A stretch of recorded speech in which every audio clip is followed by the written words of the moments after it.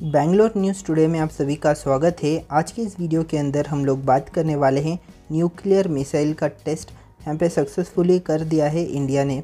जैसे कि हम लोग इन डिटेल बात किए तो यहाँ पे देखा जा सकता है, जो इंडिया है, उसने टेस्ट कर लिया है अपना nuclear capable missile K four, जिसका नाम होने वाला है।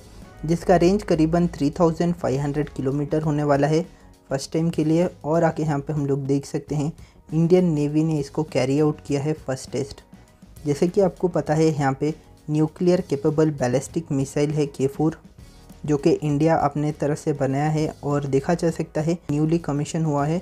करीबन 6000 टन का ये समरीन है। आईएनएस अलीघाट विशाखापट्टनम कोस्ट से ये सब कुछ होने वाला है। देखा जा सकता है, यहाँ पे के फोर मिसाइल वो आके यहाँ पे सॉलिड फ्यूल से चलने वाला है। और देखा जा सकता है यहाँ पे स्ट्राइक रेंज होने वाला है करीबन 3500 किलोमीटर तक।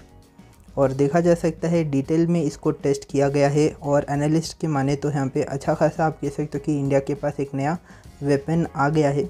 लेकिन इसका और भी टेस्ट करना पड़ेगा, जिसके बाद आप कह सकते हो कि यहाँ पे पूरी तरह से तैयार हो जाएगा ये मिसाइल और ये सबसे पहला टेस्ट है और सक्सेसफुली सब कुछ हो गया है। और भी कोई अपडेट आता है के फोर के बारे में तो आपको इस चैनल के अंदर मिल जाएगा। उम्मीद है कि आपको कुछ नया जानकारी मिला होगा। Thank you for watching this video guys thank you